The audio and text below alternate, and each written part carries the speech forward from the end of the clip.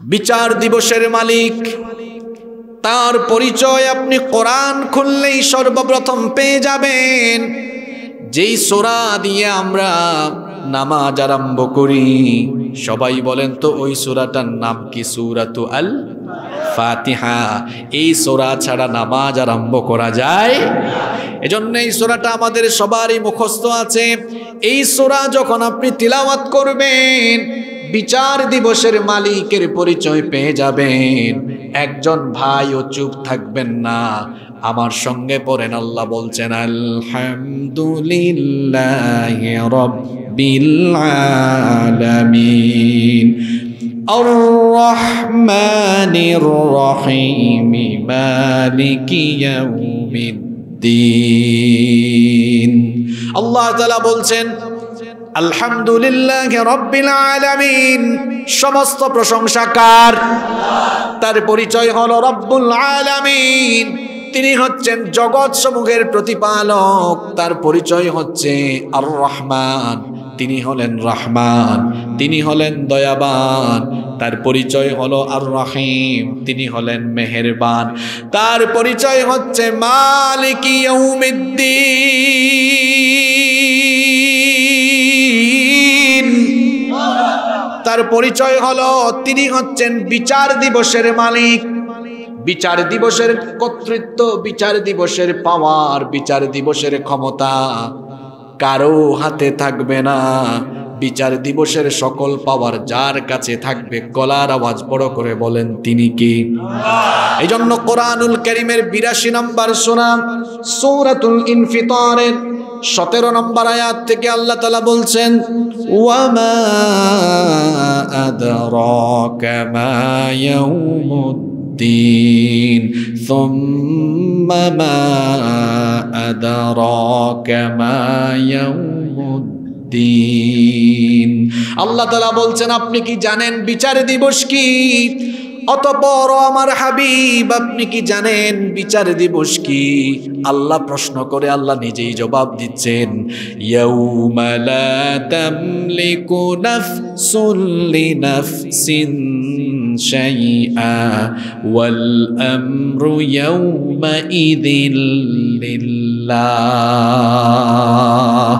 আল্লাহ তালা বলছেন সেই দিন কোনো মানুষের কাছে কোনো ক্ষমতা থাকবে না। এখন তো আমাদের হাতে ক্ষমতা থাকার কারণে মাঝে মাঝে আমরা ন্যায় বিচারেও হস্তক্ষেপ করি। এই জন্য দেখা যায়, বিচারের নামে সুবিচার, ন্যায় বিচার না করে মাঝে মাঝে অবিচারও দেখা যায়। দেখা যায় মাঝে মাঝে নিরপরাধ মানুষগুলোকে বিচারের নামে অবিচার করে তাদেরকে ফাঁসির কাস্টে ঝুলিয়ে দেওয়া হয়। মাঝে মাঝে দেখা যায় আমাদের কাছে ক্ষমতা থাকার কারণে বিচারের নামে আগ্রাসন চালিয়ে আলেমদেরকে জেলখানায় বন্দি করে রাখা হয়। জেলখানা তো বানানো হয়েছে চোরের জন্য, ডাকাতের জন্য। জেলখানা বানানো হয়েছে টেন্ডারবাজদের জন্য, দুর্নীতিবাজদের জন্য, চাঁদাবাজদের জন্য। কিন্তু দেখা যায় চোর, ডাকাত দুর্নীতিবাজ চাঁদাবাজ টেন্ডার বাজেরা, বুক ফেলায়া, জেলখানার বাহিরে আছে। আর কোরআন হাদিসের দায়রা কেউ মাতৃভূমি ছেড়ে দেশের বাহিরে, কেউ বা আবার অন্ধকার প্রকোষ্ঠে বছরের পর বছর জেলখানায় আছে। আমাদের হাতে পাওয়ার থাকায় ক্ষমতা থাকায় মাঝে মাঝে আমরা বিচারের নামে অবিচার করে ফেলি, বিচারের নামে প্রহসন চালিয়ে ফেলি। কিন্তু আল্লাহ বলছেন, বিচার দিবস, কেয়ামত দিবস, পরকাল দিবসে কোনো মানুষের হাতে কোনো ক্ষমতা থাকবে না। কেউ কারও জন্য কোনো কিছু করতে পারবে না। কোনো মানুষ কোনো মানুষের কোনো উপকারে আসবে না। কেউ কাউকে কোনো সহযোগিতা করতে পারবে না। কারণ হলো সেই দিন ক্ষমতা যার কাছে থাকবে, আল্লাহ বলছেন, ওয়াল আমরু ইয়াউমা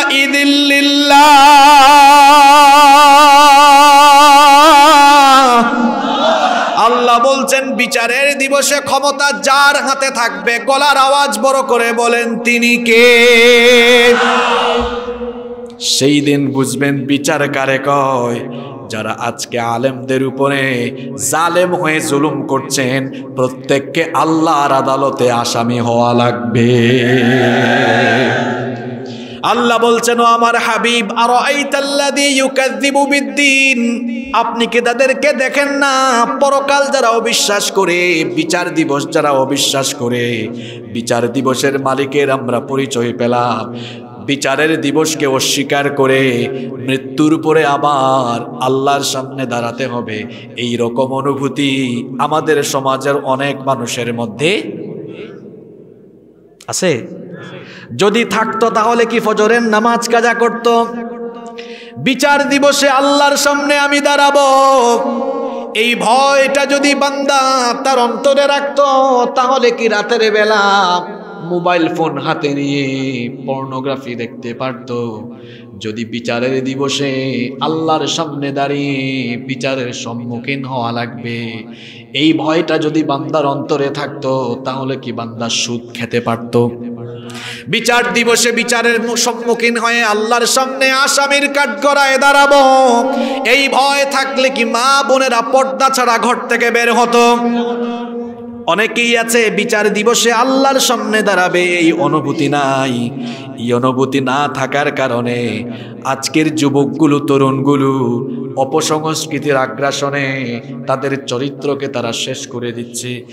খবরদার খবরদার যুবক ভাইয়েরা, মৃত্যুর পরে আরেকটা জীবন আছে। সেই জীবনে আল্লাহর কাছে বিচারের সম্মুখীন হওয়া লাগবে।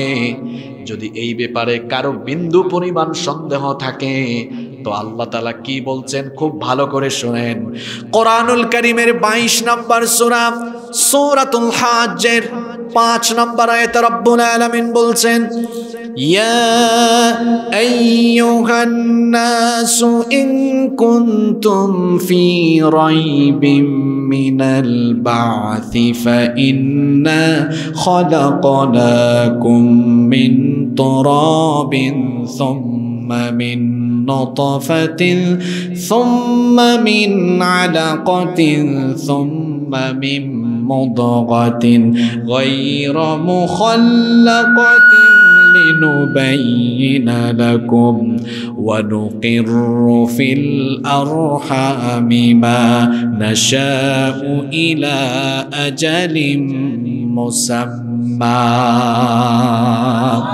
আল্লাহ তালা বলছেন হ্যাঁ মানুষ এই দুনিয়ার জীবনের পরে তোমাকে আবার বিচার দিবসে আল্লাহর বিচারের সম্মুখীন হতে হবে। এই ব্যাপারে তোমার যদি কোনো সন্দেহ থাকে, তোমার যদি কোনো সংশয় থাকে, তো শোনো তুমি কি এমন একটা সময় অতিবাহিত করো নাই যখন তোমার নাম ছিল না? ঠিকানা ছিল না, ঘর ছিল না, বাড়ি ছিল না, কিচ্ছু ছিল না। আল্লাহ মানুষের নামে কোরআনে একটা সুরা দিলেন সেই সুরার নাম হচ্ছে সুরাতুল ইনসান। ওই সুরার প্রথম আয়াতে আল্লাহ বলেছেন, হাল আতা আলাল ইনসানি হিনুম মিনাদ দাহরি লাম ইয়াকুন শাইআম মাযকুরা। আল্লাহ বলছেন, তোমার জীবনে কেমন একটা সময় ছিল না, যখন তুমি উল্লেখযোগ্য কিছুই ছিলে না, অস্তিত্ব পর্যন্ত ছিলে না। বান্দারে, কেমনে আমি তোমার অস্তিত্ব দিয়ে তোমাকে বানালাম, শোনো। পুরুষের এক ফুটা স্পাম, এক ফুটা নাপাক পানি থেকে আমি তোমাকে বানানো আরম্ভ করলাম। ওই স্পাম ফুটাকে, শুক্রাণু ফুটাকে আমি ফি মাকিন, তোমার মায়ের জরায়ুর ভেতরে সুরক্ষিত জায়গায় রেখে দিলাম।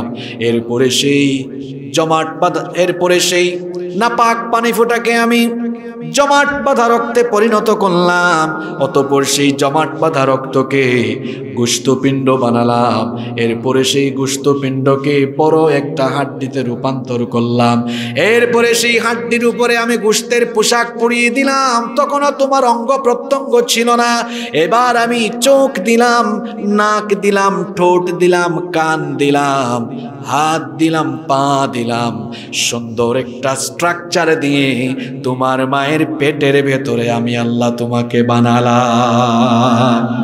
এরপরে ইলা মুসাম্মা। তোমার মায়ের রেহেমের ভেতরে আমি তোমাকে নির্দিষ্ট একটা সময় পর্যন্ত রেখে দিলাম, নয় মাস, দশ মাস। সেই অবস্থান যখন শেষ হলো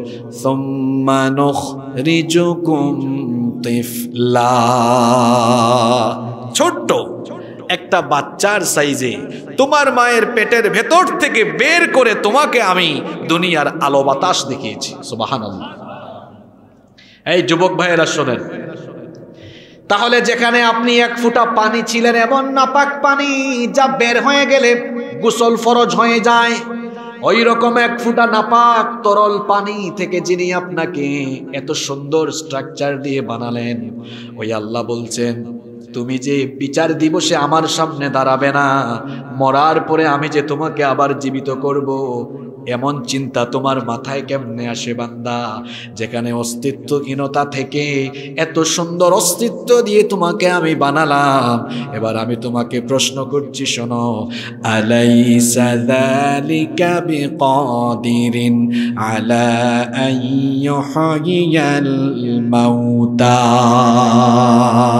যিনি তোমাকে অস্তিত্বহীনতা থেকে অস্তিত্ব দিয়ে এত সুন্দর করে বানালেন, সেই আল্লাহ কি তোমার মতো মানুষ? মানুষ মরে যাওয়ার পরে হাড্ডি গুড্ডি অস্থি পিঞ্জর আলাদা হয়ে গেলেও তিনি কি আবার তোমাকে জিন্দা করতে পারবেন না?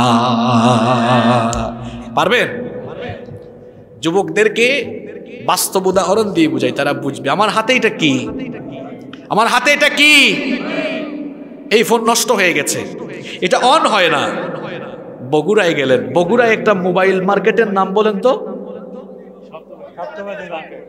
সপ্ত, সপ্তবডি সাত বডি নাকি এখানে? সপ্তপদী।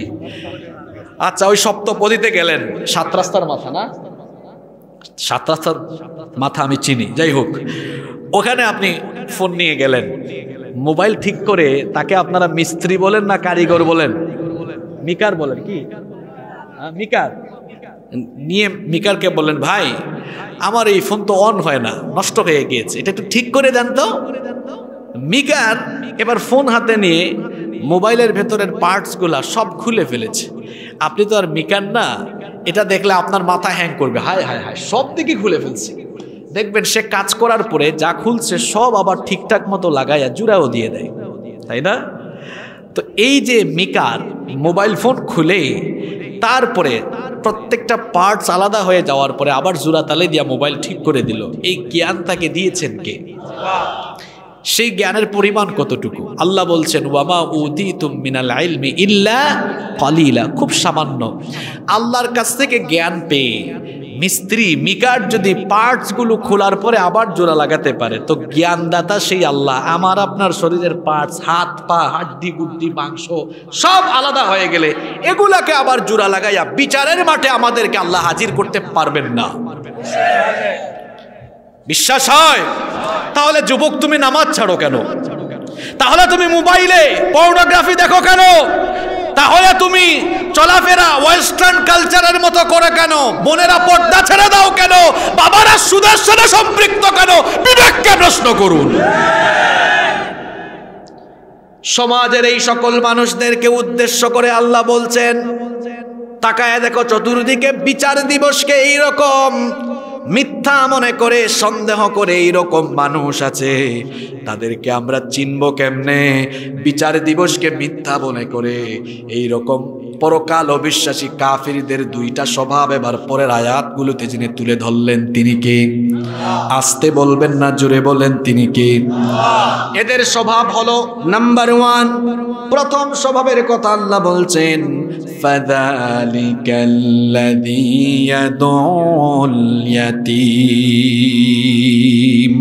সে হলো ওই ব্যক্তি যে ইয়াতিমকে ধাক্কা দেয়।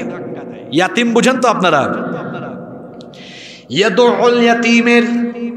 কয়েক রকমের ব্যাখ্যা তফসিরে এসেছে। ইয়াতিম পরকাল যারা অবিশ্বাস করে, বিচার দিবস যারা সন্দেহ করে, এদের চরিত্র হলো এতিমের কাছ থেকে ধন সম্পদ লুটে পুটে নিজেই খেয়ে ফেলে। অবশ্য এতিমের মাল খায় এই রকম ডাকাত বগুড়াতে নাই।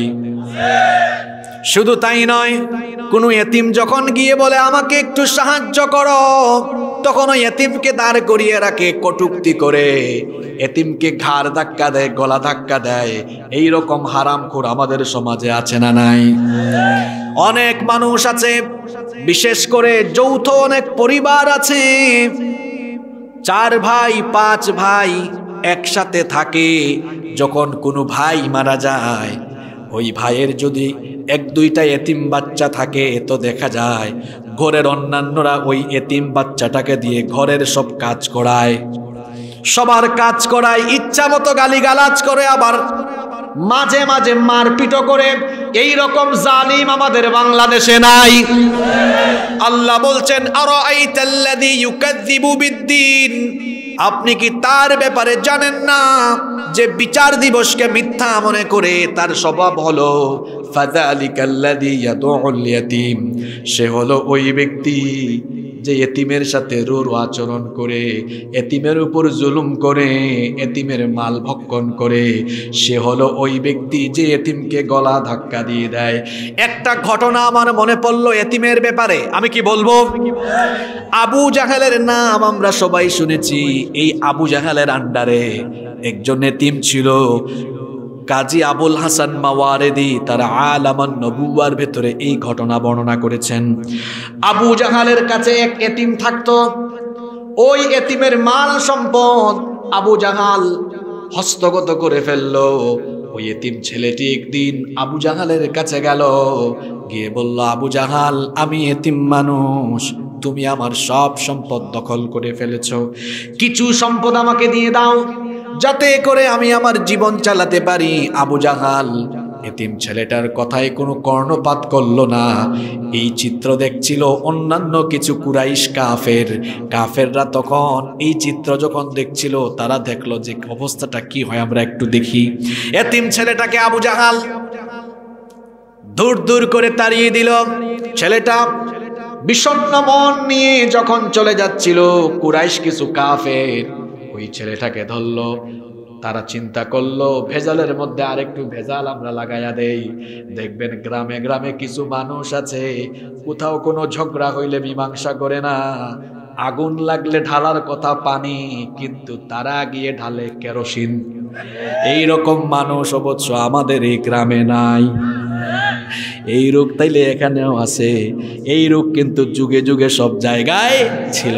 এই কাফেরগুলো চিন্তা করল, ভেজালটা আর একটু গরম কইরা দেন এবার তারা ওই এতিম ছেলেটাকে বলল, শোনো, আবু জাহাল যে তোমার ধন সম্পদগুলো হস্তগত করেছে, সে যে তোমার ধন সম্পদ দিচ্ছে না, এ ব্যাপারে অভিযোগ নিয়ে যাও, মোহাম্মদ। সাল্লাল্লাহু আলাইহি ওয়াসাল্লামের কাছে, কারণ নবীজি এবং আবু জাহালের মধ্যে সমস্যা আছে, কম না বেশি। তারা চাইছিল বেশির মধ্যে হয়ে যাক আর একটু বেশি। এজন্য তারা বলল, এতিমকে বলল, তুমি তার কাছে যাও। এতিম ছেলেটা আবার নবীজির কাছে গেল। নবীজিকে গিয়ে যখন তার পুরো ঘটনা বয়ান করল, নবীজি কেঁদে ফেললেন। দাঁড়িয়ে গেলেন, কারণ একজন এতিমের কষ্ট আর একজন এতিম বুঝে। আমার নবীও ছিলেন এতিম জন্য আল্লাহ সূরা দোহার মধ্যে বলেছেন, আলাম ইয়াজিদ গায়াতিমান ফাআওয়া। ও নবী, আমি কি আপনাকে এতিম অবস্থায় পাইনি? তারপরে কি আমি আপনার আশ্রয়ের ব্যবস্থা করিনি? জন্মের আগেই বাপ হারিয়ে তিনি এতিম হয়েছেন। এরপরে ছয় বছর বয়সে মাও হারিয়েছেন, আট বছর বয়সে দাদাও হারিয়েছেন। যিনি এতিম, তিনি কেবল এতিমের ব্যথা বুঝবেন। এজন্য আল্লাহ তার নবীকে বলেছেন এতিমকে গলা ধাক্কা দিও না, এতিমের সাথে রুরু আচরণ করো না। এতিম বাচ্চাটি যখন নবীজির কাছে এই কথা বলল। নবীজি বললেন, শোনো, আমি তোমার এই সমস্যার সুরাহা করে দিব, সমাধান করে দিব। নবীজি আবার এতিম ছেলেটার হাত ধরে আবু জেহেলের বাড়িতে গেলেন। কি ব্যাপার?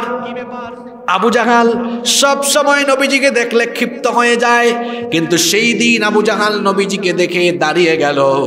নবীজিকে সুন্দর করে রিসিভ করল, সুন্দর করে অভ্যর্থনা জানালো। কুরাইশ অন্যান্য কাফেররা মনে মনে ভেবেছিল, এখন একটা গন্ডগোল লাগবে। কিন্তু দেখা গেল উল্টা চিত্র। আবু জাহাল নবীজিকে রিসিভ করল ওয়েলকাম করল, তারপরে বলল, আপনি কেন এসেছেন? নবীজি বললেন, এই এতিম ছেলেটার মাল আপনি হস্তগত করেছেন, তার মাল তাকে ফিরাইয়া দেন। আবু জাহাল বলল, ঠিক আছে, এতিম ছেলেটার মাল আমি এতিমকেই দিয়ে দিচ্ছি। এতিম ছেলেটাকে তার মাল দিয়ে দিল। নবীজি চলে গেলেন। অন্যান্য কাফিররা এসে বলল কি ব্যাপার, আবু জাহাল? তুমিও কি আজকে মোহাম্মদের দিন গ্রহণ করেছ নাকি? মোহাম্মদ এসে যা বলল, তুমি তো তাই করে ফেললা। আবু জাহাল এবার কয়, আমি তো যান বাঁচানোর জন্য কামটা করছি। এবার তারা বলল, যান বাঁচানোর জন্য কাজ করেছ, তার মানে বুঝলাম না। আবু জাহাল বলল মোহাম্মদ যখন আমার দিকে ওই ছেলেটাকে হাত ধরে নিয়ে আসতেছিল, আমি দেখলাম তার ডান কাঁধে একটা তলোয়ার আর বাম কাঁধে আরেকটা তলোয়ার আমার দিকে তাক করে আছে। আমার মনে হলো, আমি যদি এতিমের সম্পদ এতিমকে না দিতাম, তাহলে ওই তলোয়ার আমার শরীরে বিদ্ধ হয়ে যেত। আল্লাহ আকবার! এই ঘটনাটা বলেছি আমি দুইটা কারণে। একটা কারণ হলো নবীজি দাওয়াতি ময়দানে কাফেরদের উপরেও তার চারিত্রিক প্রভাব বিস্তার করতে পারতেন। আজ আমরা দেখা যায় দাওয়াতি জায়গায়, অনেক জায়গায় গিয়ে আমাদের চারিত্রিক প্রভাব আমরা বিস্তার করতে পারি না। তার কারণ হলো আমাদের আমল আখলাকের মধ্যে ঘাটতি আছে না নাই। কিন্তু নবীজি কাফের মুশরিকদের সামনেও যখন দাওয়াত দিয়েছেন, কাফের মুশরিকরাও নবীদের চরিত্রে প্রভাবিত হয়ে যেত। আল্লাহ আকবার! তারা নবীজির বিরোধিতা ঠিকই করতো রাজনৈতিক কারণে, কিন্তু নবীজিকে তারা সত্যবাদী জানতো, আমানতদার জানতো, বিশ্বস্ত জানতো। আর এই ঘটনা বলার আরেকটা কারণ হলো, যেই সময় এই সুরা নাজিল হয়েছে তাহলে বোঝা গেল, ওই যুগের ওই সময়ের নেতা নামক খেতারা তারাও এতিমের মাল দখল করে খাইতো, ঠিক কিনা? এই যুগেও এতিমের মাল খাওয়া পার্টি এখন আর নাই। আল্লাহ বলেছেন, ইন্নাল্লাযীনা ইয়াকুলুনা আমওয়ালাল ইয়াতামা যুলমান, ইন্নামা يأكلون في بطونهم نارا وسيصلون سعيرا আল্লাহ তালা বলছেন নিশ্চয়ই যারা অন্যায়ভাবে এতিমের মাল ভক্ষণ করে তারা যেন তাদের পেটের মধ্যে জাহান নামের আগুন ঢুকায় এরা হচ্ছে জালিম এদেরকে জাহান্নামের শাস্তি যিনি ভোগ করাবেন তিনি কে আল্লাহ বলেছেন খবরদার খবরদার এতিমের মাল অন্যায়ভাবে আত্মসাত করো না এতিমের মাল। অন্যায়ভাবে মেরে খেও না, এতিমের উপর জুলুম করো না। আল্লাহর হাবিব বলেছেন, এতিমকে গালি দিও না, কারণ আমি নবী নিজেই এতিম হয়ে এসেছি। এতিমের সাথে বদ আচরণ করো না, নবীজি বলেছেন, এতিমের দেখাশোনা করো, এতিমের লালন পালন করো, এতিমকে ভালোবাসো, এতিমকে স্নেহ করো। নবীজি বলেছেন, আনা ওয়া কাফিলুল ইয়াতিমি ফিল জান্নাতি হাকাদা, ওয়া দাম্মাস সাব্বাবাতি ওয়াল গুস্তা এই দুইটা আঙ্গুল, এই দুইটা আঙ্গুল একসাথে করে নবীজি বললেন, সাহাবিরা রে শোনো, আমিন আল্লাহর নবী আর এতিমের দেখাশোনা করা ব্যক্তি কেয়ামতের দিন এভাবে একসাথে এক জান্নাতে থাকব। তাহলে এতিমের সাথে আমরা কি খারাপ আচরণ করব না এতিমকে ভালোবাসবো? এতিমকে ভালোবাসবেন? একজন সাহাবি এসে বললেন, ওগো আল্লাহর হাবিব, আমার দিল পাথরের মতো শক্ত হয়ে গিয়েছে, আমার চক্ষু দিয়ে পানি আসে না, আমার দিল নরম হয় না। নবীজি বললেন, যখন তুমি হাঁটবা, এতিম তালাশ করবা। এতিম পাইলে এতিমের মাথায় হাত বুলাইয়া দিবা। এতিমের মাথায় হাত বুলাইয়া দিলে আল্লাহ তোমার অন্তরকে নরম বানিয়ে দিবেন। যদি আপনাদের দিলের মধ্যেও কালিমা লেগে যায়, দিল যদি শক্ত হয়ে যায় গুণা যদি বারবার করতে মন চায় এতিমের দিকে তাকাবেন। আহারে, আপনার আব্বা আছে, আপনাকে ঈদের সময় কাপড় কিনে দেয়। এতিম ছেলেটার, মেয়েটার কোনো আব্বা নাই। তাকে কেউ কাপড় কিনে দেয় না। আপনাকে আপনার বাপ, মা হাতে ধরে ধরে নিয়ে স্কুলে দেয়, মাদ্রাসায় দেয়। এতিম বাচ্চাটাকে কেউ এনে স্কুল, মাদ্রাসায় দেয় না। আপনার আব্বা, আম্মা আপনাকে মুখে তুলে খাওয়ায়া দেয়। এতিম ছেলেটাকে, মেয়েটাকে খাওয়ানোর কোনো মানুষ নাই। আপনার বিয়ে শাদির ব্যবস্থা আপনার মা বাবা করে, কিন্তু সমাজে এমন অনেক এতিম ছেলে মেয়ে আছে, তাদের বিয়ে শাদী হচ্ছে না, আছে না নাই। আমি যখন ছাত্র ছিলাম সেই দু হাজার বারো, তেরো, চোদ্দ সালের কথা বলছি। তখন আমি বিভিন্ন সামাজিক সংগঠন এলাকায় প্রতিষ্ঠা করে বহু এতিম ছেলে মেয়েদের বিয়ে, আমি বিবাহের ব্যবস্থা করে দিয়েছি। আলহামদুলিল্লাহ। এটা আপনাদেরকে উৎসাহিত করার জন্য বলছি। গত সাত, আট মাস আগেও একটা এতিম মেয়ে সম্পূর্ণ বিবাহের ব্যবস্থা করে তার বিবাহের ব্যবস্থা করে দিয়েছে। আলহামদুলিল্লাহ। কেন? নবীজি বলেছেন, এতিমের দেখাশোনা করো। এতিমকে সহযোগিতা করো আমার সাথে জান্নাতে থাকতে পারবা। সুবাহান নবীজির সাথে জান্নাত চান না কে কে? দেখি হাত তুলেন তো। মাশাল্লাহ বাদাম খাইলে অনেকের মনোযোগ আছে। কারা কারা বাদাম খাইছে দেখবেন মাহফিল থেকে উঠার পরে দেখবেন শুধু বাদামের বাকল পাওয়া যাবে এখানে। বাদাম খাইতেছে বুট খাইতেছে খাক না খাইলে আবার চাবাচাবি করলে একটু ঘুম যাবে। ঠিক আছে না কথা? তাইলে এতিমকে সহযোগিতা করবেন তো? যুবক ভাইয়েরা এই বয়সে অনেক ছেলেকে দেখি সারাদিন খেলা দেখে। এই যে এখন একটা বিশ্বকাপ শুরু হয়েছে, এটা দেখি সকালবেলা আরম্ভ হয়, বিকালেও শেষ হয় না। তিনি খেলে। তো সারাদিন যদি খেলা, এরা কাজ করবে কখন? পৃথিবীকে যারা নেতৃত্ব দিচ্ছে, তাদের দেশে ক্রিকেট, ফুটবল নিষিদ্ধ। ইসরায়েলে এইসব নিষিদ্ধ। তারা, আপনারা যেন ক্রিকেট খেলা দেখেন, ফুটবল খেলা দেখেন, তারা প্রযুক্তি বানায় দিয়েছে। তারা আপনাদেরকে বলছে যে, তুরা খেলা নিয়ে থাক আর আমরা পৃথিবী নামক বল নিয়ে খেলে সবাইকে গোল দিব। কি যুবকরা, ঘুম আসে না কথা মাথায় ঢুকে? আপনারা পাবজি, বাবজি খেলান। তারা আপনাদেরকে পাবজি আর বাবজিতে আসক্ত করে রেখেছে। কত ছেলে এখানে আছে? চব্বিশ ঘণ্টার মধ্যে আঠারো ঘণ্টা ফেসবুক চালায়। টিকটক চালায়। আবার ঠিকও কয়, কি ভদ্র পুলা পান একটা ইহুদির বাচ্চা। আপনাদের মতো বয়সে পড়াশোনা করবেন। একটা ইহুদির বাচ্চা, বারো, চোদ্দ বছর বয়সে সে কোনো প্রযুক্তি আবিষ্কার করতে পারে কিনা, এই ধান্দায় থাকে।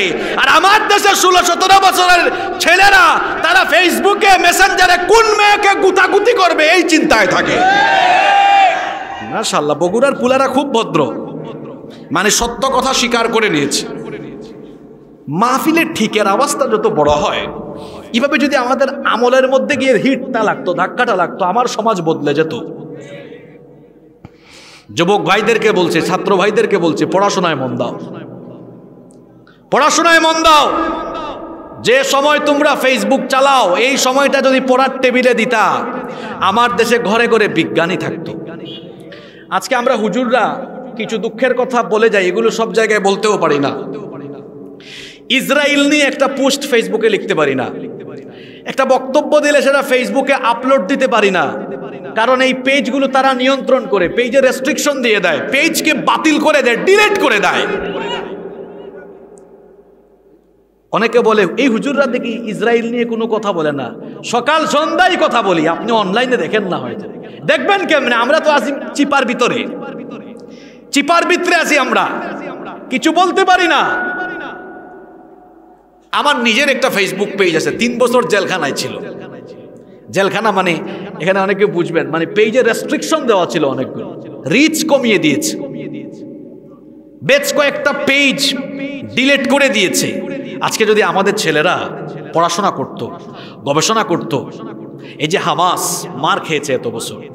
অস্ত্রশস্ত্র নাই, তারা নিজেরাই মার খাইয়া পরে, এখন নিজেরাই এমন অস্ত্র বানিয়েছে ইসরায়েলিদের আয়রন ডুমকে তারা ছিন্ন ভিন্ন করে দিয়ে ইসরায়েলকে জনমের মতো সায়স্তা করে দিয়েছে। এই যুবকরা ঠিকঠাকের আওয়াজের মতো যদি এই যুবকগুলো পড়াশোনায় মন দেয়, আর যদি চিন্তা করে, আগামীতে ফেসবুকের বিকল্প হিসাবে আমি একটা অ্যাপস বাংলাদেশে আবিষ্কার করব। ইউটিউবের বিপরীতে আমরা আগামী দিনে বাংলাদেশে মুসলিম উম্মার জন্য আরও নতুন নতুন অ্যাপস আনব যেগুলোতে কন্টেন্ট ক্রিয়েট করা যায়। তাহলে দেখা যাবে ইহুদিদেরকে মোকাবেলার জন্য অস্ত্রশস্ত্রের যেমন দরকার আছে, তার পাশাপাশি বুদ্ধিবৃত্তিক এগিয়ে যেতে হবে। ওদেরকে মোকাবেলার জন্য প্রযুক্তিগত যুদ্ধ লাগবে। প্রযুক্তিতে তাদেরকে মাথা নত করাইয়া প্রযুক্তিতেও তাদের উপরে আমাদের স্থান দখল করে নিতে হবে। এজন্য যুবকরা কি ফেসবুকিং করবে, মেয়েদের পিছনে ঘোরাফেরা করবে না পড়াশোনা করবে? কথা কয় না। পড়াশোনা করবা তো? এক একজন এখন যে পড়াশোনা করো তোমরা, গত সাত আট বছর ধরে দেখতেছি, ঢাকা বিশ্ববিদ্যালয়ে পরীক্ষা দিয়া সাংবাদিক মাইক ধরেছে। আপনার এইচএসসির রেজাল্ট কি? কয় আই আইএম জিপিএ ফাইভ এই তোমাদের পড়াশোনার অবস্থা। পড়াশোনায় মনোযোগ দাও। পড়াশোনা করো। নিজের বেসিক নলেজকে ইনক্রিজ করো। মেয়েদের পিছনে ঘুরঘুর করা বাদ দাও। তোমার যখন কেরিয়ার সুন্দর হবে, চরিত্র সুন্দর হবে, তুমি মেয়ের পিছনে ঘুরবা কেন? তোমার চরিত্র ভালো হলে কেরিয়ার ভালো হলে, সমৃদ্ধ হলে, হাজার হাজার মেয়ের বাপ তোমার কাছে মেয়ে বিয়ে দেওয়ার জন্য লাইন ধরে দাঁড়ায় থাকবে। এজন্য যুবক ভাইয়েরা, চরিত্র ঠিক করতে হবে কেরিয়ার ঠিক করতে হবে। পারব তো? পারব তো? কষ্ট হচ্ছে আপনাদের? তাহলে এই সুরার প্রথম দুইটা আয়াত আমরা পড়ছিলাম আপনি কি তাদেরকে দেখেন নাই যারা বিচার দিবসকে মিথ্যা মনে করে? তাদের এক নাম্বার স্বভাব হলো এতিমকে তারা গলা ধাক্কা দেয়। ফাদালিকাল্লাদি ইয়াদউল ইয়েতিম। এদের দুই নাম্বার স্বভাব হলো, আল্লাহ পরের আয়াতে বলছেন, ওয়ালা ইয়াহুদ্দু আলা তাআমিল মিসকিন। কষ্ট হচ্ছে নাকি আপনাদের? এই তো মাত্র লাইনে তুলছি আপনাদেরকে। এখন এমন এমন কথা বলব, বলবেন আমাদের এলাকার সব চারপাশের সাথে সব মিলে যাচ্ছে কেন? শুনবেন তো? এদের দুই নম্বর স্বভাব হলো ইয়াহুদ্দু আলা মিসকিন। মিসকিনদেরকে খাবার দানে এরা উদ্বুদ্ধ হয়। মিসকিন হলো নিঃস্ব। অসহায় ব্যক্তি, অভাবী ব্যক্তি যে তার অভাব ভালোভাবে পুরোটা পূরণ করতে পারে না। মিসকিনকে আপনি খাবার দিবেন, খাবার দিতে উৎসাহিত করবেন। মিসকিনকে খাবার দিয়ে আপনি মিসকিনের প্রতি দয়া করবেন না। বরং আপনার সম্পদের ভেতরে মিসকিনের হক যিনি রেখে দিয়েছেন, গলার আওয়াজ বড় করে বলেন, তিনি কি? এজন্য আল্লাহ বলেছেন, ওয়াফি আমওয়ালিহিম হাক্কুল লিসাইরি ওয়াল মাহরুম। ধনবান মানুষদের ধন সম্পদের ভেতরে অভাবী বঞ্চিতদের একটা হক রেখে দিয়েছেন যিনি। সবাই বলেন, তিনি কি? আল্লাহ বলছেন, তাদের হক তাদেরকে দাও, নিজে শুধু পেট ভরে খেও না। তোমার ডানে বামে সামনে পিছনে চতুর্দিকে এতিম, মিসকিনের দিকে তাকাও, অভাবী সহায়দের দিকে তাকাও। পরকাল অবিশ্বাসী লোকেরা এরা মিসকিনদেরকে খাবার দেয় না, এতিমের সাথে ভালো আচরণ করে না। এজন্য রব্বুল কোরআনুল কারিমের উনানব্বই নাম্বার সূরা, সূরাতুল ফজরের সতেরো এবং আঠারো নম্বর আয়াতে বলছেন, কাল্লা বাল্লা তুকরিমুনাল ইয়াতীম ওয়ালা তাহাদ يحضون على طعام المسكين কখনো নয় পরকাল বিশ্বাসী লোকেরা তোমরা তো এতিমদেরকে সম্মান করো না মিসকিনদেরকে খাবার দিতে উৎসাহিত হও না কিন্তু অন্যদিকে ইমানদার নেককার যারা জান্নাতি লোকদের বৈশিষ্ট্য আল্লাহ বললেন আল্লাহ তালা বলছেন ওয়ায়ুতিমুনা তাআমা আলা به مسكينا ويتيما وأسيرا জান্নাত অনুসন্ধানী লোকেরা খাদ্য তাদের কাছে প্রিয় এবং আকর্ষণীয় হওয়া সত্ত্বেও তারা এতিম মিসকিন এবং বন্দীদেরকে খাদ্য দেয়। তারা এই যে মানুষকে খাবার দেয়, মানুষ দেখাবার জন্য দেয় না, বরং এই যে মানুষকে, অভাবীদেরকে, নিঃস্বদেরকে খাবার দেয়, যাকে খুশি করার জন্য সবাই বলেন তিনি কি? এজন্য পরের আয়াতে আল্লাহ বলছেন, এরা বলে, ইন্নামা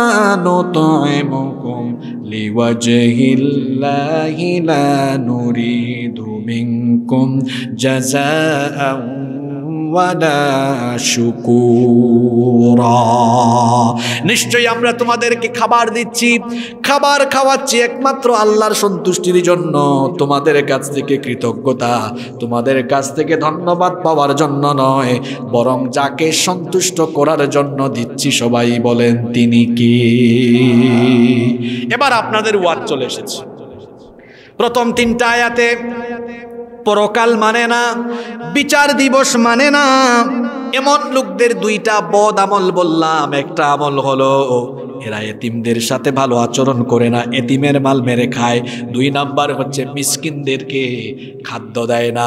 এবার পরের চারটা আয়াতে আল্লাহ ইমান আনার পরে ধোকাবাজি করেছে, এই ধরনের মুনাফিকদের ব্যাপারে নাজিল করেছেন। মুনাফিক তো আমাদের সমাজে নাই। কেউ যদি বলে হুজুর, আমি হিন্দু দেখব, অনেক হিন্দু দেখব, কোথায় যাব? আমি বলব, ভাই, কষ্ট করে প্রতিবেশী দেশে যান। দেখবেন সেই দেশে গেলে কোটি কোটি হিন্দু আপনি দেখতে পাবেন। কেউ যদি বলে, হুজুর, আমি খ্রিস্টান দেখব, কোথায় যাব? বলব, আপনি ইউনাইটেড কিংডম অথবা ইউনাইটেড স্টেটে চলে যান, কোটি কোটি খ্রিস্টান পাবেন। কেউ যদি বলে, হুজুর, আমি বৌদ্ধ দেখব, কোথায় যাব? আমি বলব, আপনি চীন এবং মিয়ানমারে যান। কোটি কোটি বৌদ্ধ সেখানে আছে। কেউ যদি বলে, হুজুর, আমি ইহুদির বাচ্চা দেখব, কোথায় যাব? বলব, আপনি ইসরায়েলে যান। কিন্তু কেউ যদি আমাকে প্রশ্ন করে বসে, হুজুর, মুনাফিক দেখব, কোন দেশে যাব? মুনাফিকের কি আলাদা কোনো দেশ আছে নাকি? মুনাফিকের আলাদা কোনো দেশ নাই। তার কপালে কিংবা পিঠের মধ্যে কোনো সাইনবোর্ডও নাই। কপালে লেখা নাই, আমি মুনাফিক। পিঠের মধ্যে সাইনবোর্ড লাগায় না, আমি মুনাফিক। মুনাফিক চিনাও বড় মুশকিল, কারণ মুনাফিক তার মাথায় টুপি দেয় দাঁড়িয়েও রাখে, নামাজের সামনের কাতারেও যায়, রোজাও রাখে হজ করে জাকাত দেয়, সুন্দর সুন্দর পাঞ্জাবি পরে জুব্বাও গায়ে দেয়। এই রকম ইসলামের লেবাস ধরে, যেখানে সুযোগ পায় তলে তলে ইসলামকে জবাই করে। এখন এই মুনাফিক চিনবেন আপনি কেমনে? মুনাফিক চিনতে হয় তার স্বভাব দিয়ে, মুনাফিক চিনতে হয় তার চরিত্র দিয়ে। আজকে যে সুরা নিয়ে আমরা কথা বলছি, এই সুরার শেষের চারটা আয়াতে এই মুনাফিক লোকদের তিনটা বদ চরিত্রের কথা যিনি বলেছেন, সবাই বলেন তিনি কে?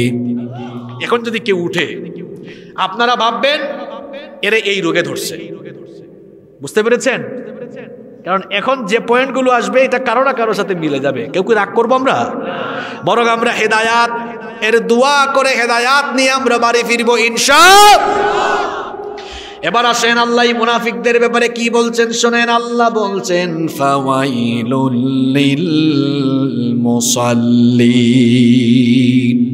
অতঃপর ওয়াইল ধ্বংস নামাজিদের জন্য, বগুড়ার মানুষ। বলেন তো আপনারা নামাজ আল্লাহ দিয়েছেন, ধ্বংস হওয়ার জন্য না জান্নাত পাওয়ার জন্য? জুড়ে বলতে হবে। তাহলে আল্লাহ যে বললেন, ধ্বংস নামাজিদের জন্য। তার মানে হলো নামাজ আদায় করে নামাজ পড়ে কিছু লোক জান্নাতে যাবে, আবার নামাজি হয়ে, টুপিওয়ালা হয়েও কিছু মানুষ জাহান নামে যাবে।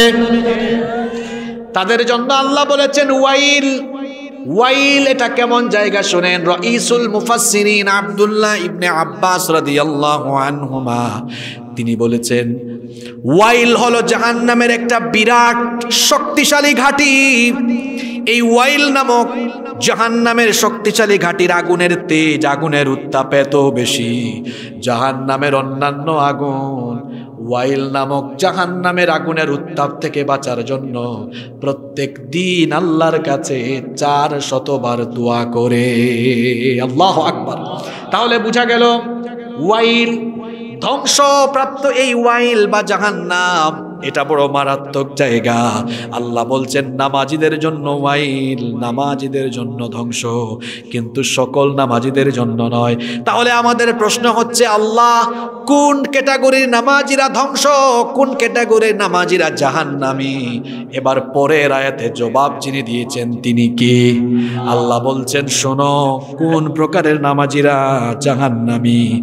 আল্লাহ তালা বলছেন আল্লাহ হুম সালাতিহিম সাহুন। যারা তাদের নামাজের ব্যাপারে উদাসীন। আনাস মালিক রাদিয়াল্লাহু আন, তিনি বলছেন, আল্লাহ আমাদের উপর দয়া করেছেন। তিনি যদি আল্লাযীনাহুম আন সলাতিহিম না বলে বলতেন আল্লাযীনাহুম ফি সলাতিহিম সাহুন, তাহলে অর্থ হয়ে যেত, নামাজে আমরা মাঝে মাঝে অনিচ্ছাকৃত ভুল হয় না নামাজে?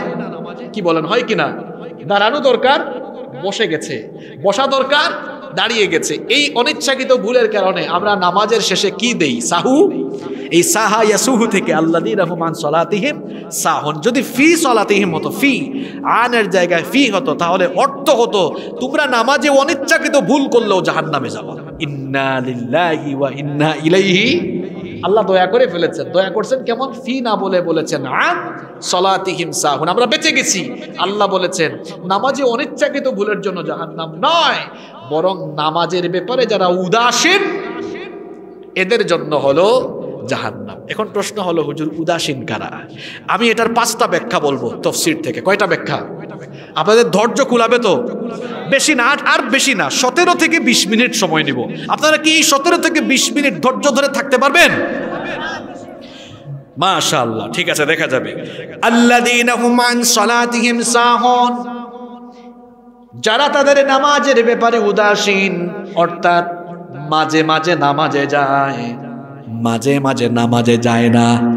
ইচ্ছে হলে যায়, ইচ্ছে হলে যায় না।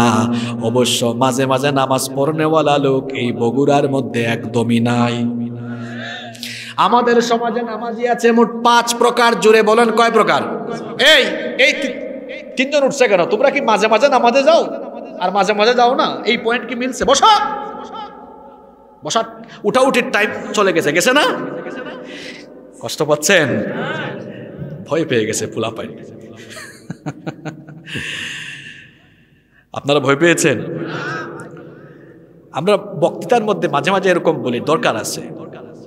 কারণ হচ্ছে মাঝে মাঝে ইসলাম বিরোধীদের কলিজা কাঁপানোর জন্য মাঝে মাঝে এরকম হুঙ্কারেরও দরকার আছে।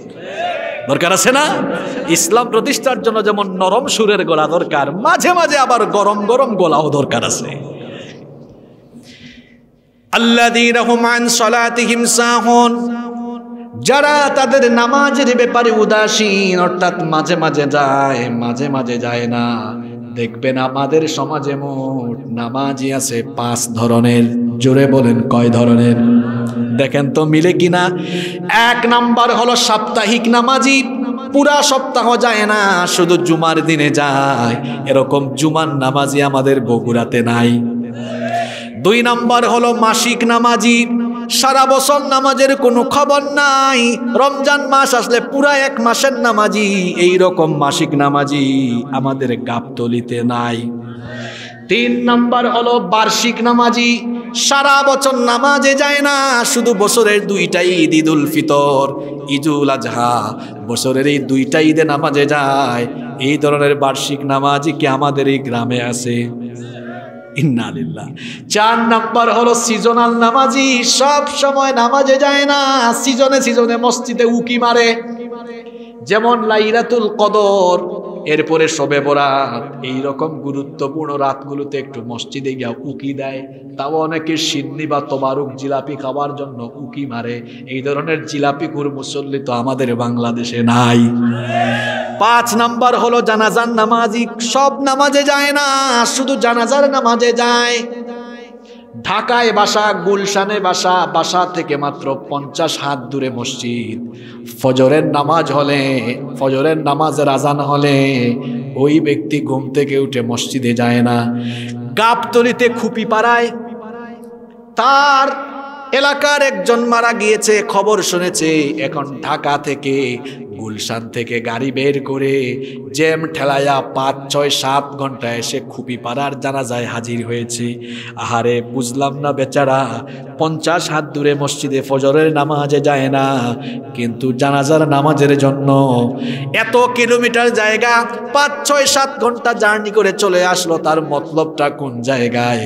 আপনি না বুঝলেও আমি ঠিকই ধরেছি, ফজরের নামাজের আগে বক্তৃতা দেওয়ার সুযোগ নাই, কিন্তু জানাজার নামাজের আগে বক্তব্য দেওয়ার সুযোগ আছে। ঘটনা তো একটা মনে পড়ছে। বলব? ঘটনাটা কি বলব? বলব? এটা ইলেকশনের টাইম ছিল। এই তো গত ইলেকশন। একটা ইউপি ইলেকশন গেল না? এক এলাকা দিয়ে যাচ্ছি। দোকান। এর মধ্যে তিন চারজন লোক। সবাই রাজনৈতিক নেতা, বিভিন্ন দল করেন। আমার সাথে ভালো সম্পর্ক। আমি বললাম, আজান হয়েছে তো নামাজে যাবেন না, আপনারা চলেন নামাজে যাই। বলল, হুজুর, আমরা আসতেছি নামাজে। আপনি যান। আমি বললাম, হয়তো তারা আসবেন, আমি চলে যাই। গেলাম। আমি নামাজে গেলাম, নামাজ আদায় করলাম। তাদেরকে দেখলাম না মসজিদে। নামাজের পরেও দেখলাম না। নামাজ শেষে ইমাম সাহেব বললেন, আমাদের মসজিদ থেকে নিকটবর্তী মাঠে একটি জানাজা আছে। কে মারা গিয়েছেন? ইমাম সাহেব সেটা বললেন। এখন যার জানাজার খবর শুনলাম, ওনাকে আমিও চিনি।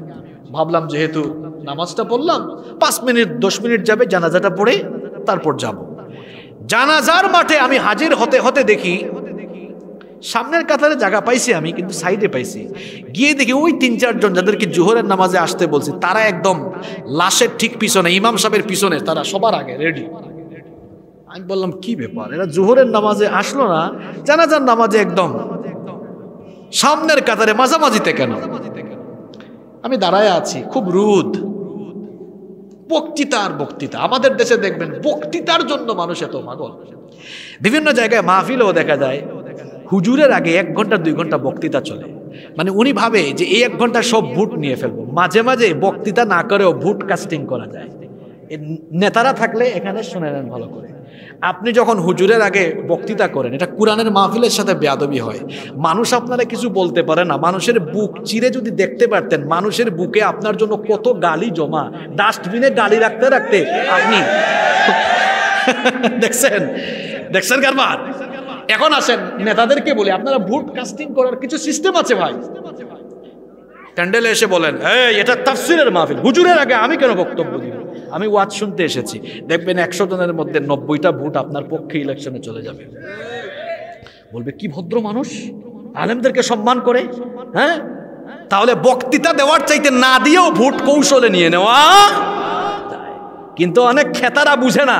এজন্য এই খেতারা চায় তার শক্তি দিয়ে সব করে ফেলতে। খেতা, শক্তি দিয়ে সব হয় না। সুন্দর হাসি আর সুন্দর আচরণ দিয়ে মানুষের মন জয় করে নেওয়া যায়। কষ্ট পেয়েছেন নাকি আপনারা? তা শোনেন, ঘটনা মনে আছে তো? মনে আছে? বক্তৃতা করছে জনমের মতো। জানাজা পড়তে দুই চার পাঁচ মিনিট লাগে, সেই জানাজা আধা ঘণ্টা হয়েছে আর কি। জানাজার পরে ওই নেতাদেরকে আমি আটকাইলাম। যেহেতু পরিচয় আছে, আলাদা এক জায়গায়। বললাম, ভাই, আপনাদেরকে জোহরের নামাজে ডাকলাম, আপনারা আসলেন না। জানাজার নামাজে দেখি আপনারা হাজির কয়, আশেপাশে কেউ আছে? বললাম, নাই।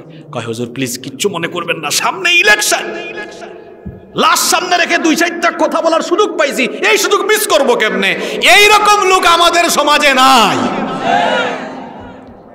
এই সব সুবিধাবাদ নামাজিদের ব্যাপারে আল্লাহ বলছেন, এদের জন্য ওয়াইল। এদের জন্য ধ্বংস, এদের জন্য জাহান্নাম। যারা নাম, মাঝে মাঝে নামাজে যায়, মাঝে মাঝে যায় না। এই তো মোট কয় প্রকারের নামাজি বললাম। আসতে বলবেন না জুড়ে বলেন, কয় প্রকার? মাঝে মাঝে যায়, মাঝে মাঝে যায় না।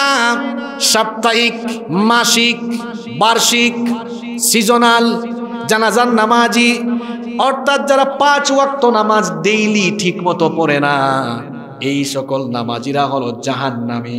এদের জন্য ওয়াইল। তাহলে বলেন তো, আমরা ওয়াইল থেকে জাহান্নাম থেকে বাঁচার জন্য মাঝে মাঝে নামাজে যাব না সব সময় নামাজে যাব? ও আমার যুবক ভাইয়েরা, শোনেন শোনেন। কোন সব নামাজিদের জন্য জান্নাত, কারা জাহান্নাম থেকে বেঁচে জান্নাতে যাবে?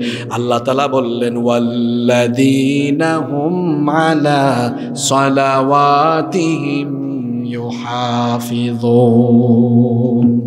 যারা তাদের পাঁচ ওয়াক্ত নামাজ হেফাজত করে, ফজর হলেই ঘুম ভেঙে ফজরের নামাজ, জোহরের আজান হলেই জোহরের নামাজ, আসরের আজান হলেই আসরের নামাজ, মাগরিবের আজান হলেই মাগরিবের নামাজ, এশার আজান হলে এশারের নামাজ, এই রকম প্রত্যেক দিন যারা পাঁচ ওয়াক্ত নামাজ সুন্দরভাবে আদায় করে, আল্লাহ এদের ব্যাপারে সুসংবাদ দিয়ে বললেন, উলাইকা হুমুল ওয়ারিসুন আল্লাযীনা ইয়ারিসুনাল ফিরদাউসা হুম فيها خالدون কোনো বাবা মারা গেল ওই বাবা মারা যাওয়ার পরে তার ছেলে মেয়েরা যেমন বাবার সম্পদের মালিক হয়ে যায়, ঠিক তেমনি ভাবে ফজর, জোহর, আসর মাগরি বেশা পাঁচ ওয়াক্ত নামাজ যারা ঠিকঠাক মতো আদায় করে, এই পাঁচ ওয়াক্তের নামাজি বান্দারা মৃত্যুর মাধ্যমে দুনিয়ার সফর শেষ করার সঙ্গে সঙ্গে তারা আল্লাহর এক নাম্বারের জান্নাত, জান্নাতুল ফেরদাউসের ওয়ারিশ হয়ে যায়। আমরা সবাই জান্নাত চাইতো। কি, সবাই চান তো তো যুবক ভাইরা, কেন আপনারা নামাজে আসেন না? বিশ্বাস করেন আমার যুবক ভাইরা, আপনাদের জন্য আমার কলিজাটা ফেটে যায়, আপনাদের জন্য এত বেশি কষ্ট হয়। এই বয়সটা ছিল আপনাদের নামাজের বয়স, কিন্তু এই বয়সে আপনারা ফজরে ঘুমায়া থাকেন।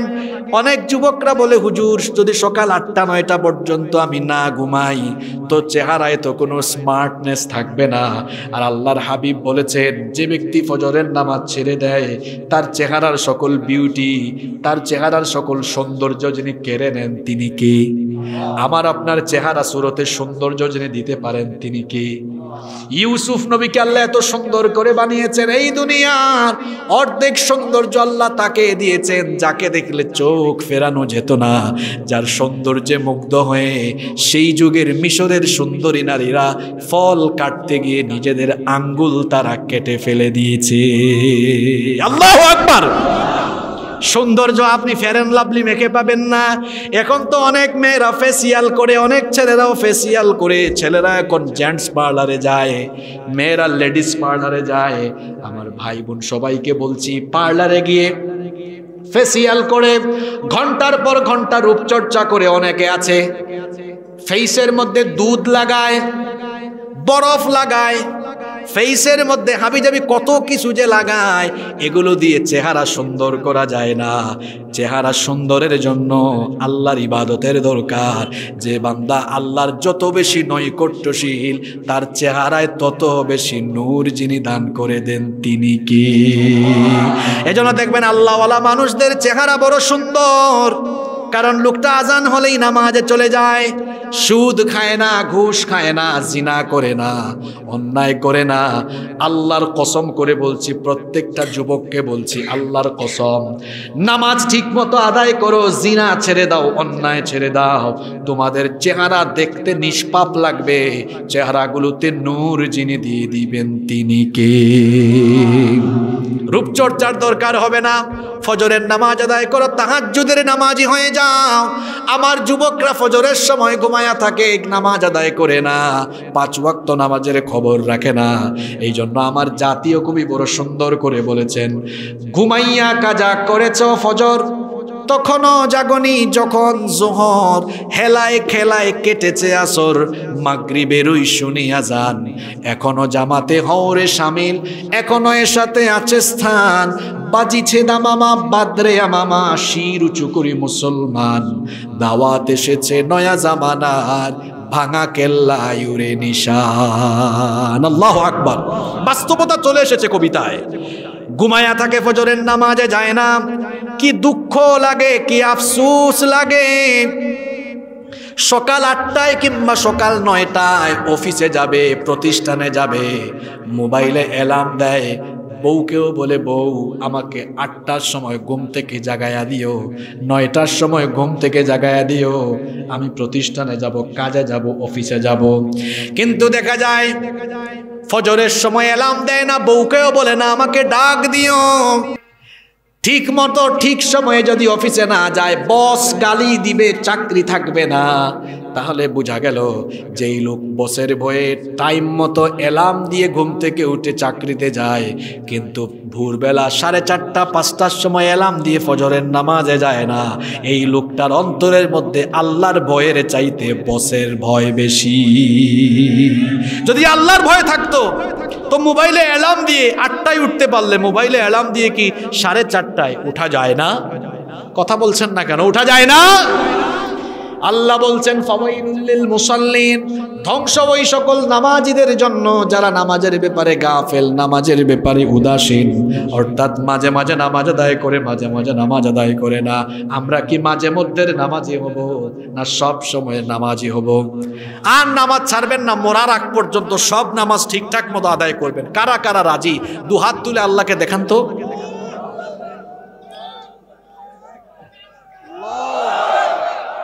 আপনারা হাতটা কি ঠিকঠাক মতো তুলছেন? সবাই নামাজি হবেন তো? হাতগুলো নামান। আল্লাহ সবাইকে কবুল করে নেন। আপনাদের আপনাদের বোধহয় খুব কষ্ট হচ্ছে, তাই না?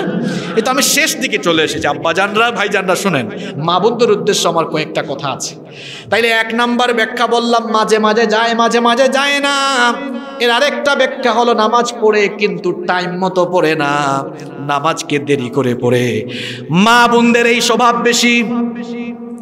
যেমন জোহরের নামাজের টাইমে দেখা যায় অনেক মা বোনরা আছে, ঘরের রান্না বান্না শেষ করতে করতে বিকাল তিনটা। আছে না নাই? জোহরের নামাজ পড়তে পড়তে সাড়ে তিনটা, চারটা আসরের সময় হয়ে যায়। আসরের নামাজ পড়তে পড়তে মাগরিব হয়ে যায়। অনেক ভাইয়েরাও আছেন, নামাজ দেরি করে পড়ে আল্লাহর হাবিব বলেছেন, তিলকা সলাতুল মুনাফিক ওইটা মুনাফিকের নামাজ। কোন নামাজ নবীজি বলেছেন? ইয়াজিলি সুয়ার কবুশামস বসে বসে সূর্য দেখে সূর্য কীভাবে তার কক্ষপথে যাচ্ছে।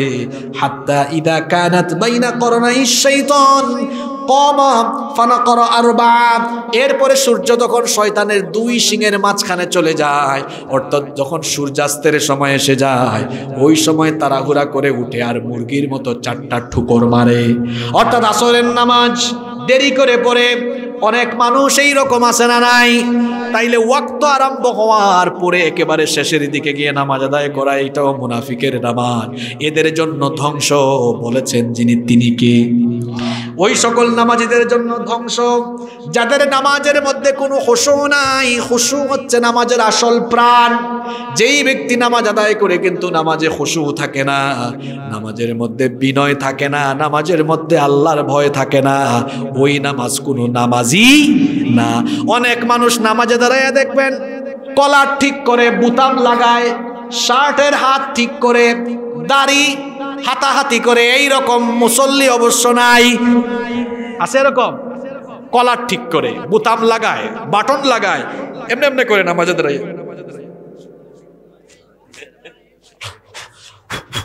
করে?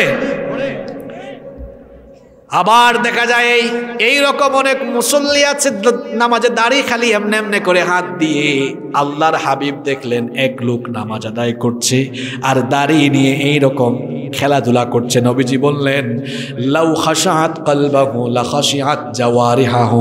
লোকটার অন্তরে যদি আল্লাহর ভয় থাকতো, তাহলে নামাজে দাঁড়িয়ে এরকম দাড়ি নিয়ে খেলতো না। কাদের নামাজে খুশো নাই? যারা নামাজে এদিক ওদিক তাকায়, নামাজে ঘড়ির টাইমের দিকে তাকায়, হুজুরের তেলাওয়াত একটু লম্বা হলে পেছর থেকে সিগনাল মারে। এরকম কাশি দেওরা মুসল্লি কি আপনাদের এলাকায় আছে? হাই বাপরে বাপ, কিছু কিছু মসজিদে ঢুকলে কাশির যন্ত্রণায়। জুমার দিনে কাশি শোনা যায় বেশি। হুজুর যদি একটু লম্বা করে ফেলেন, কয়, দেখছ? ইমাম সাহেবের তো কোনো কাজ নাই। এত লম্বা নামাজ আদায় করছে। এরকম আছে? নামাজের মধ্যে খুশো নাই। যে নামাজে খুশো নাই, ওই নামাজের কোনো দাম আল্লাহর কাছে।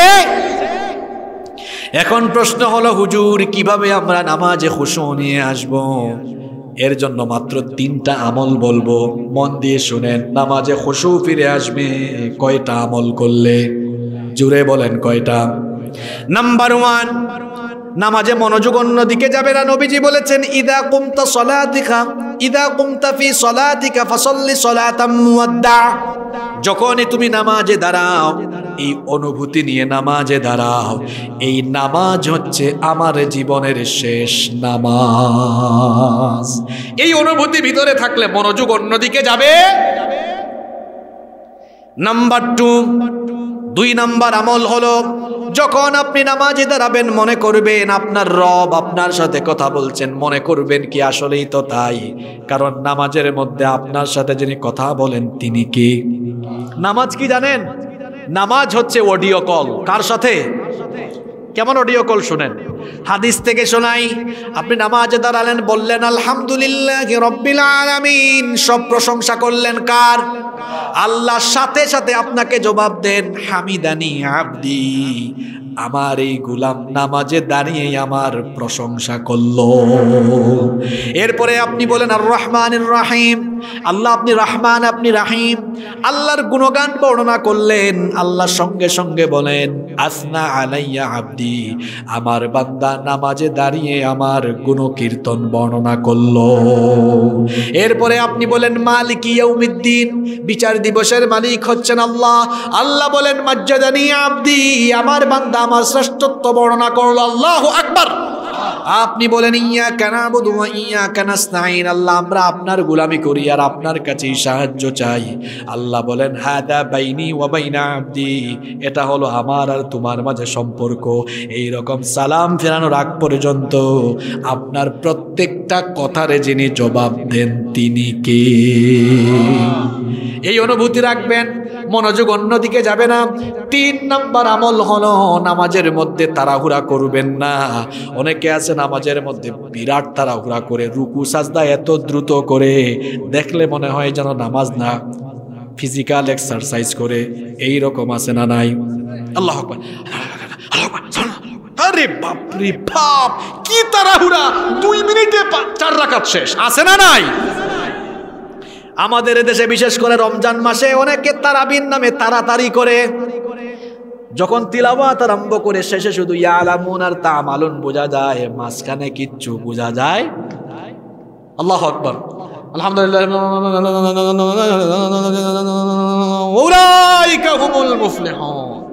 আছে এরকম? ফাইভ জি গতির তারাবি। কোরআন নিয়ে এমন তামাশা করার অধিকার কে আপনাকে দিয়েছে? নামাজের তিলাওয়াত আস্তে আস্তে। সুন্দর করে হবে। তাড়াহুড়া করা যাবে না। নামাজে দাঁড়িয়েছেন। সুন্দর করে পড়েন। আলহামদুলিল্লাহ রব্বিল আলামিন। আর রহমানির রহিম। মালিক ইয়াউমিদ্দিন। إياك نعبد وإياك نستعين.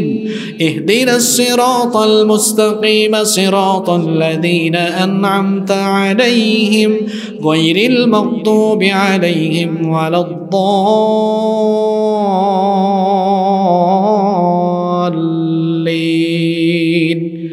সুন্দর করে পড়বেন। আস্তে আস্তে, ধীরে ধীরে। ফাইভ জি সিক্স জি গতিতে এরকম নামাজে তাড়াহুড়া করা মানে হচ্ছে সরাসরি আল্লাহর সঙ্গে তামাশা করা।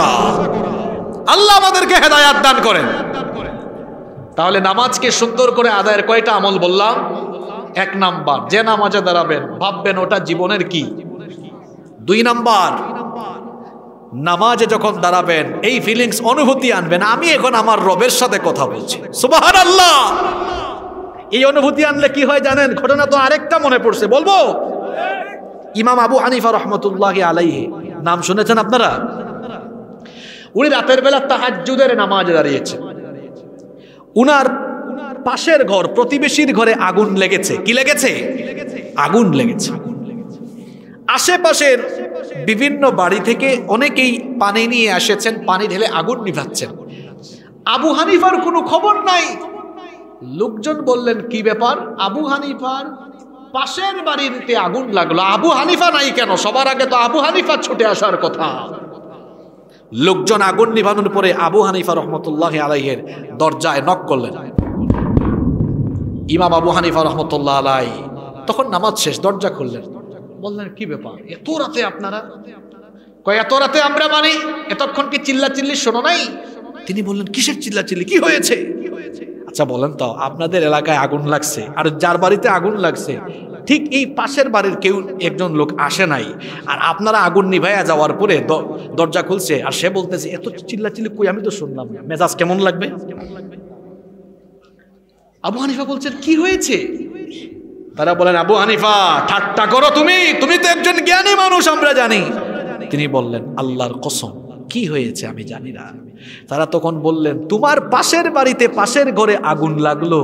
সারা গ্রামের মানুষ এসে আগুন নিভাইলাম। তুমি একটু পানি তো ঢাললাও না, এগিয়েও আসতা না। তুমি কেমন মানুষ? দরজাও খুললা না, দরজা বন্ধ করে আছো। এখন বলতেছো আবার, তুমি কিচ্ছু জানো না। তিনি কি উত্তর দিয়েছেন শুনেন? তিনি বলছেন, ভাই, আল্লাহর কসম, আসলে আমি টের পাইনি। কারণ হলো, তোমরা সবাই মিলে যখন আমার প্রতিবেশীর ঘরের বাড়ির আগুন নিভাতে ব্যস্ত ছিলে, ওই সময়টাতে আমি নামাজে দাঁড়িয়েছিলাম আর তিলাওয়াতে এত মজা পাচ্ছিলাম, আল্লাহর সাথে কথা বলে। তোমরা যখন দুনিয়ার আগুন নেভানুতে ব্যস্ত, আমি তো রবের সাথে কথা বলে বলে জাহান নামের আগুন নেভানুর কাজে ব্যস্ত ছিলাম। এই হচ্ছে আমাদের পূর্ববর্তীদের নামাজ হ্যাঁ? আরেকটা ঘটনা, আলী রাদি আল্লাহ আনুর নাম শুনছেন তো আপনারা? যুদ্ধের ময়দানে তীর ঢুকেছে, বিষাক্ত তীর। কিছু সাহাবিরা গিয়ে টান মারতেছেন, যখনই টান মারতে তাদের হু হু করে চিৎকার করে ওঠেন নবীজি এটা দেখলেন, দেখে বললেন, সাহাবিরা, থামো! আমার আলীর পা থেকে এই তীর এত সহজে খুলতে পারবে সবুর করো আজান হোক। তারপর দেখা যাবে। আজান হলো। আলী রাদি আল্লাহ আর নামাজে দাঁড়ায়। নবীজি বললেন, যাও এবার আলীর কাছে। কারণ আমার আলী এখন নামাজে দাঁড়িয়েছে, আল্লাহর সাথে এখন কথা বলায় ব্যস্ত। এখন তার শরীরে তীর ঢুকালে তীর বের করলে কিচ্ছু সে টের পাবে না। আলেমরা বসে আছেন, ঠিক বলেছি তো? যেই তীর নামাজের আগে হাত দিলেই তিনি চিৎকার দিয়ে ওঠেন ওই তীর খুলে ফেলা হলো। তিনি উহ, আহ কোনো সাউন্ডও করলেন না। নামাজ শেষে মুসল্লিরা বলল, আলী, তোমার পা থেকে তীর খুললাম, একটু হু হাও তো করলাম না। তিনি বললেন, আল্লাহর সাথে কথা বলে এমন মজা পাচ্ছিলাম। আমার শরীরে কি ঢুকেছে না কি বের করেছ, কিচ্ছু আমি টের পাই নাই। সুবাহান আল্লাহ আর আমাদের নামাজ কেমন জানেন? এক মসজিদে মাগরিবের নামাজে ঢুকছি, মাহফিলে যাচ্ছি আমি। নামাজের সময় হয়েছে, ঢুকছি। নামাজ শেষে এক মুসল্লি খেপছে, কয়, হুজুর, একটু কয়েল জায়গায় রাখতে পারেন না, মশায় কামড়াই আমাকে শেষ। উফ! আমরা মশার কামড় টের পাই। আর তারা তীর বের করে ফেলেছে, টের পান নাই। সুবাহান বলেছিলাম, নামাজে মনোযোগ আনার জন্য দুই নাম্বার আমল। কি করা? এই অনুভূতি নিয়ে আসা। আমি কার সাথে কথা বলছি? কার সাথে?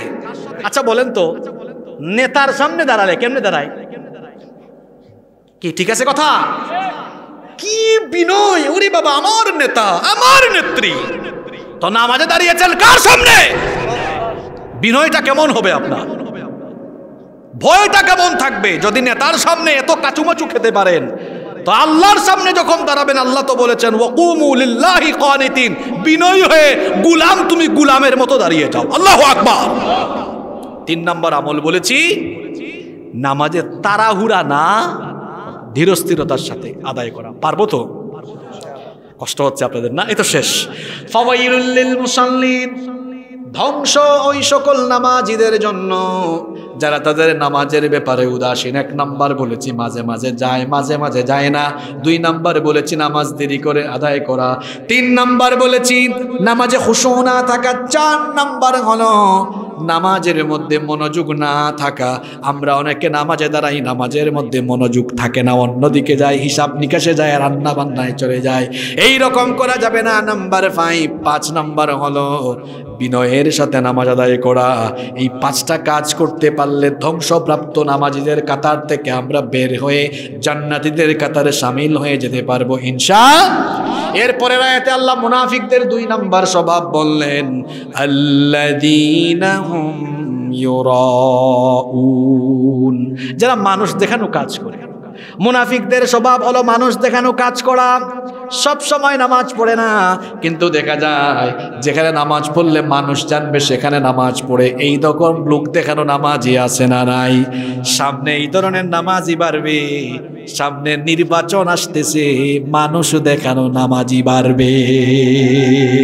দেখেছি, আমি দেখেছি। মানুষ দেখানো নামাজই মারবে। কারণ আমি যদি নামাজ না পড়ি তো মানুষ কি বলবে? সব জায়গায় দান সৎকা করে না। যেখানে দান সৎকা করলে মানুষ বাহবা দিবে সেখানে দান সৎকা করে হজ সব সময় করে না। ইলেকশনের ঠিক দুই মাস আগে হজ করে আছে, যাতে পুস্তাদের মধ্যে হাজি আর আলহাজ লেখা যায়। মানুষ দেখানো কাজ করে যারা জাহান্নামি ধ্বংসপ্রাপ্ত হলো তারা। এরপরে শেষে রায়াতে আল্লাহ বলছেন ওয়াইয়াম নাউনাল মাউন। গৃহস্থানের প্রয়োজনীয় দ্রব্যাদি মানুষকে দিতে বিরত থাকে যারা। এই যে আজকে প্যান্ডেল হয়েছে না বাস বাঁশ কাটার জন্য দাও দরকার। পাশের বাড়িতে একজন গিয়ে দাও চেয়েছে। আছে, কয় নাই? থাকলেও বলে ভূতা কি বলেন, আছে না? দিয়াশলাই চেয়েছে। ভাবি, বোনদের ক্ষেত্রে এটা হয়। ভাবি, একটু দিয়াশলাই দিবেন, আমার চুলায় আগুন লাগাবো। মনে মনে তো গালি দেই। আর কয়, না, বোন, আমার ঘরেও দিয়াশলাই আজকে নাই। একটু লবণ লাগবে। ভাবি, একটু লবণ দিবেন, আমার ঘরে নাই লবণ। বিকেলে বা কালকে দিয়ে দিব। কয়, নাই। এরকম আছে না নাই? এই টাইপসের লোক যারা প্রয়োজনীয় জিনিস থাকলেও মানুষকে দেয় না, এরা হলো মুনাফিক। আর আল্লাহর হাবিবের সাহাবিরা কেমন ছিলেন শুনেন? মক্কা থেকে হিজরত করে মদিনায় যারা এসেছেন ঘর বাড়ি ভিটামাটি বউ বাচ্চা, জায়গা জমি ছেড়ে দিয়ে এসেছেন। আর মদিনায় থাকা লোকেরা তাদের ঘরের খাবার দাবার ভাগ করেছেন, জায়গা জমি ভাগ করেছেন, ফসলও দিয়েছেন। এমনকি যাদের একাধিক বিবি ছিল, একাধিক বিবি থাকলে তালাকে দিয়ে তাদের মুহাজির ভাইদের সাথে বিবাহের ব্যবস্থা করেছেন। সোবাহান আল্লাহ পড়েন। এরকম চরিত্র আল্লাহ আমাদেরকে দান করেন। বলেন আমিন। তাহলে সোরা মাউন থেকে আলোচনা হয়েছে। ছয়টা শিক্ষা আমি বলব। এর আগে আমাদের কিছুক্ষণ এর মধ্যেই মোনাজাত হয়ে যাবে ইনশাল্লাহ আজকের মাহফিল তো মসজিদের উদ্যোগে আয়োজন হয়েছে। মসজিদের উন্নতি কল্পে। আপনারা অনেকে দান সৎকা করেছেন ব্যাগত চলে গিয়েছে। অনেকেই আছেন মাহফিলে মোনাজাতের ঠিক আগে প্রধান বক্তার কাছে দেয়, তো আমি মুসাফির মানুষ গুণাগার হতে পারি, কিন্তু সফর অবস্থায় দোয়া কবুল হয়। কেউ উঠবেন না, বসেন। এতক্ষণ থাকতে পেরেছেন, মোনাজাত পাঁচ সাত মিনিটের জন্য খুব একটা ক্ষতি হয়ে যাবে না। মোনাজাত একটা বরকতের অংশ, ঠিক কি না? আর তো মোনাজাত করার সুযোগ নাও পাইতে পারি, ঠিক না? তো এখানে তো গুণা মাফ হয়ে যেতে পারে পারে কি না কেউ উঠবেন না। দুই চার মিনিট দেরি হবে, এরপর আমরা মোনাজাত করে ফেলব। অনেকে আছেন, দুই চার, পাঁচ হাজার, দশ হাজার টাকা নিয়ে বসে আছেন যে ঠিক মোনাজাতের আগে হুজুরকে দিব, ওই সময় মনে থাকবে হুজুরের দোয়া করবে। এই আশায় অনেকে দেন নাই। তো এক্ষুনি আমরা কিছুক্ষণের মধ্যে মোনাজাত করব। এরকম কোনো বাবারা, ভাইয়েরা থাকলে আপনারা দিয়ে দেন, আপনাদের জন্য দোয়া হবে ইনশাল্লাহ আপনাদের মসজিদের এবং অজুখানার যে অসম্পন্ন কাজ আছে, সেগুলো যেন সব রকমের ব্যবস্থা হয়ে যায়। বলেন আমিন। আর এর ফাঁকে দিয়ে আমি ছয়টা শিক্ষা বলি যারা বাকি আছেন তারা একটু দিয়ে ব্যাগ একবার দিয়েছেন না আর একবার দিলে আপনাদের এলাকায় দেয় না? তো দেয় যেহেতু দেন অসুবিধা নেই। ব্যাগ যাচ্ছে আপনারা যেহেতু দানশীল মানুষ দুইবারও দেন। ঠিক আছে ব্যাগ যাচ্ছে ব্যাগগুলো যাচ্ছে। অনেকে দেরি করে আসতেন মাহফিলের শেষে। প্রথমবার দেয় নাই। তো এই বরকত থেকে কেউ বঞ্চিত হবেন না। স্বেচ্ছাসেবক ভাইয়েরা, চতুর্দিক থেকে আপনারা একটু ঢুকে যান। সবাই, এটা তো মসজিদে দিচ্ছেন, কাউকে দিচ্ছেন না আপনি। এটা আপনার জন্য কিয়ামতের দিন নাজাতের ওসিলা হয়ে যাবে ইনশাল্লাহ মা বোনদের প্যান্ডেলে তো মনে হয় ব্যাগ আছে না? মা বোনদের প্যান্ডেলেও ব্যাগ দেওয়া আছে। মা বোনরা কেউ বাকি থাকবেন না। আপনারা সবাই দিয়ে যাবেন। আল্লাহর গড় মসজিদে আপনাদের এই দান আপনাদের এই সৎকা কাজে লাগবে। এটি আমাদের